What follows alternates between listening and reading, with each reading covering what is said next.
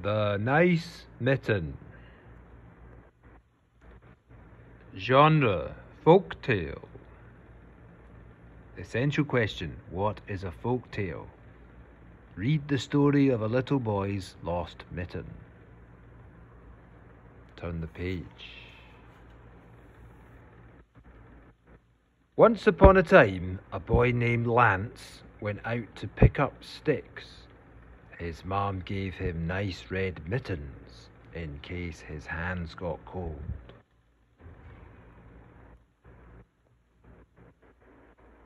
Take the mittens and keep them safe, his mom said. But as Lance left, he ran fast and lost a mitten at the edge of the wide forest.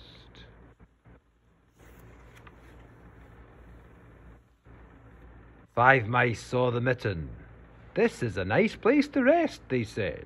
So the happy mice went in and rested. Then a rabbit raced by. This is a nice place for hiding, she said. So the rabbit went in and hid. The mitten puffed up a bit. Next, a hedgehog came sniffing by. This is a nice place for taking a nap, he said.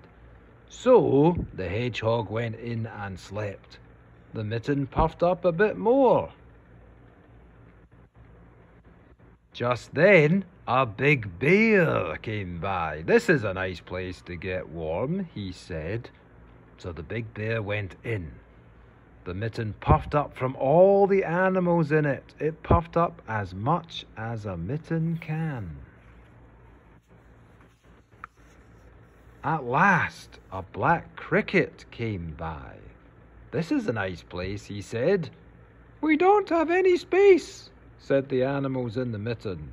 But the black cricket went in, and just as he did, rip, snap, pop.